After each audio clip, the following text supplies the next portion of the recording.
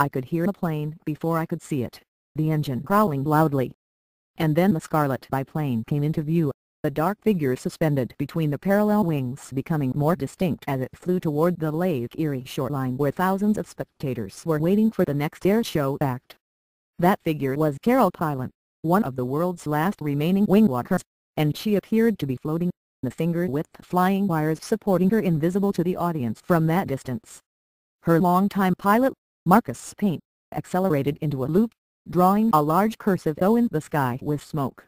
Only centrifugal force and Pilon's own strength kept her from falling as the plane flew upside down and then righted itself barely a hundred feet above the waterfront showbox. Then the 1940 Boeing Stearman turned away from the shore, providing the audience with a silhouette of the biplane, Pilon suspended like a spider over her carefully spun web. Paine gained altitude and turned back toward the crowd before pulling back the throttle, stopping the propeller blades and the 150 mile per hour blast that could blow Pilon off the wing. The 2,000-pound Stearman glided gracefully as a seabird while Pilon moved off the wires and wove herself between the struts toward the cockpit, balancing on the narrow wooden spar that makes up the spine of the wing and the only beam strong enough to hold her weight. This was the moment when the audience realized that she, truly, was walking on the wing, hundreds of feet in the air. If the pilot didn't fly level, if a bird were to hit her, there would be little she could do, no matter her years of experience and thousands of hours of training. Pilon climbed up, past the cockpit and onto the top wing where a slender pole was affixed.